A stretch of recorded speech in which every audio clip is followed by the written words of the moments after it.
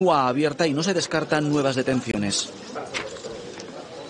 En un contexto de subidas de precios generalizadas, de mirar el dinero para casi todo, hay un capítulo en el que también podemos ahorrar. Los impuestos. Atentos porque estamos en un momento clave para poner al día nuestro patrimonio y conseguir las máximas deducciones cuando al año que viene hagamos la declaración.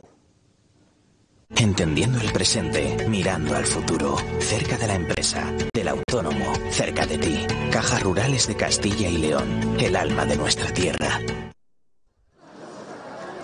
Se acerca el final del año y es momento de poner al día nuestras obligaciones fiscales para conseguir las máximas deducciones.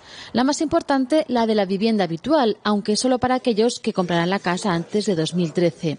El máximo deducible son 9.040 euros. Este es el momento de revisar cuánto hemos amortizado. Si no he pagado los 9.040 euros, tengo la posibilidad de hacerlo hasta el 31 de diciembre para que cuando yo haga la declaración de la renta me pueda desgravar el máximo posible. También es el momento de vender alguna acción o valor que nos esté dando pérdidas si este año hemos vendido un inmueble con plusvalía.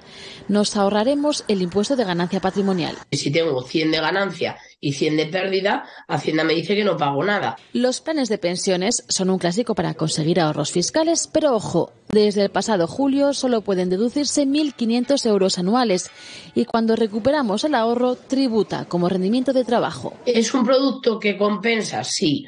Eh, a la larga sacamos beneficios, sí. Pero bueno, hay que conocerlos. También podemos afiliarnos a un sindicato, colegio profesional o hacer algún donativo social. Rebajarán nuestra carga fiscal.